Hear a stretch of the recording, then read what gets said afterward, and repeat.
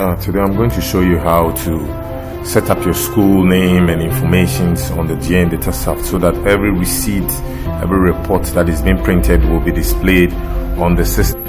Now without wasting much time, you go ahead and launch the application and you would have it displayed. You quickly log in into the system. Now if you haven't watched any of these videos, you can click on the buttons here to watch the videos to know how to configure and use every section of the database. Now without wasting much time, you quickly come to settings. When you click on settings, you can click it here, change my school name, or you can click on the settings, double click on the settings to open the settings for you, and then you click my school name. Uh, from this is the interface. Every information that you change here is what is going to be displayed on the system.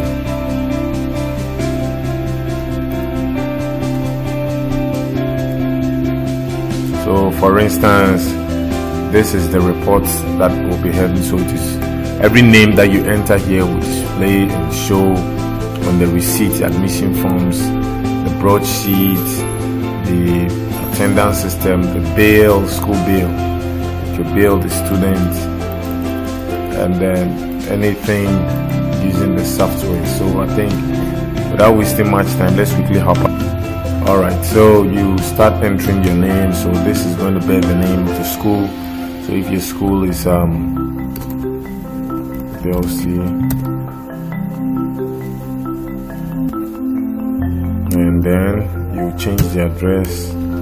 So mine will be okay. So you change the school motto, the phone number, the city email address of the school, then the school initials. This is mostly for the student ID. So if I want mine to be DEL hyphen 010, then this will become the school initials on the report.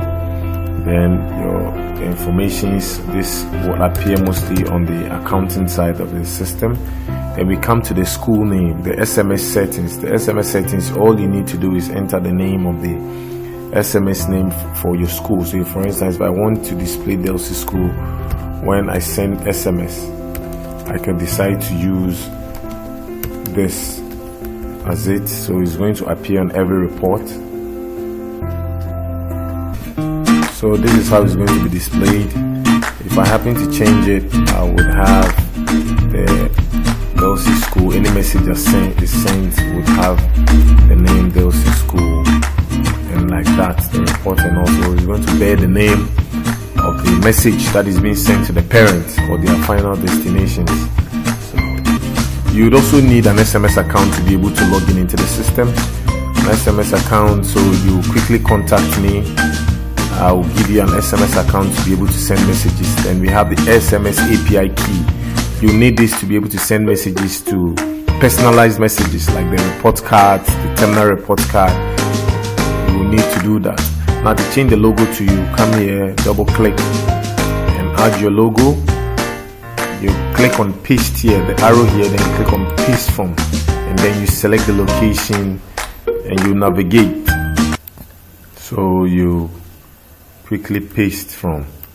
When you use the paste from, it will give the light dialog. Then you click on the logo. When you click on the logo, click on this, the logo, then you automatically it will be pasted for you. You can enlarge it to cover the other one. Like this and you close and you have it here.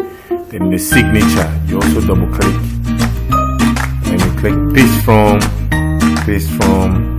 And you navigate to where you have the signature. So you can sign on a plain sheet of paper and then scan it.